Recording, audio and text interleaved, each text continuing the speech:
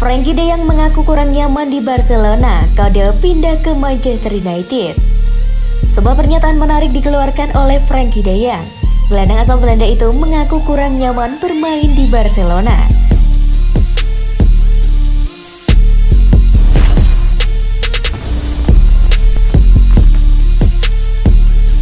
Dia yang bergabung dengan Barcelona di tahun 2020 silam. Ia ditebus dengan harga yang sangat mahal pada saat itu dari Ajax Amsterdam.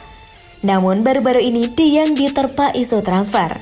Ia dilaporkan menjadi target transfer Manchester United di bursa transfer kali ini. Diang mengakui bahwa ia sebenarnya kurang nyaman bermain di Barcelona. Ya, ada perbedaan yang besar antara gaya bermain Barcelona dan di sini timnas Belanda. Ujar Diang kepada NOS. Lebih nyaman di Belanda. Menurut Diang, skema bermain Barcelona sangat berbeda dengan di Belanda. Ia merasa tidak maksimal bermain di Barcelona. Ia menyebut bahwa ia merasa lebih nyaman dan bisa mengeluarkan kemampuan terbaiknya di timnas Belanda. Ya, gaya bermain di timnas Belanda berbeda jauh dengan di Barcelona. Saya rasa saya lebih cocok dengan gaya bermain di sini di timnas Belanda. Gaya bermain Deyang Deyang pada kesempatan ini mendeskripsikan bagaimana gaya bermainnya. Ia mengaku senang menjadi gelandang yang dominan. Ia ingin menerima bola paling cepat dari back dan juga menguasai bola selama mungkin. Saya suka ketika saya menjadi titik kontak pertama saat lini pertahanan mengalirkan bola ke depan. Saya juga suka untuk menguasai bola selama mungkin, ujarnya. Sedang diurus. Menurut laporan yang beredar, Manchester United saat ini sedang mengebut proses transfer De Jong dari Barcelona. Setan Merah dilaporkan sudah dekat mengamankan jasa sang gelandang dan diyakini transfer ini bisa kelar sebelum akhir Juni 2022. Transfer Frankie De ke Manchester United selesai di pertengahan Juni 2022. Manchester United nampaknya akan segera mengesahkan transfer pertama mereka di musim ini. Tim berjuluk Setan Merah itu dilaporkan akan merampungkan transfer Frankie De Jong dari Barcelona.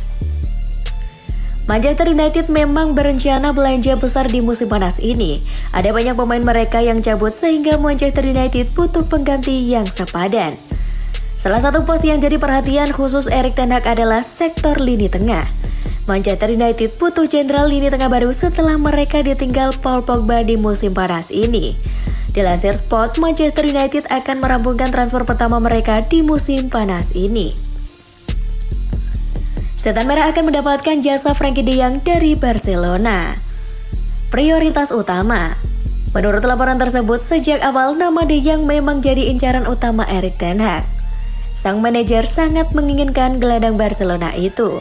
Ia menilai sang gelandang bakal sangat krusial untuk lini tengah Manchester United. Ia menilai sang gelandang bisa mengeksekusi gaya bermainnya dengan baik. Itulah mengapa Erik Ten Hag mendesak manajemen Manchester United untuk melakukan segala cara untuk mengamankan jasa De Jong. Kelar tengah bulan Menurut laporan itu, upaya Manchester United untuk mendaratkan jasa De Jong sudah hampir selesai.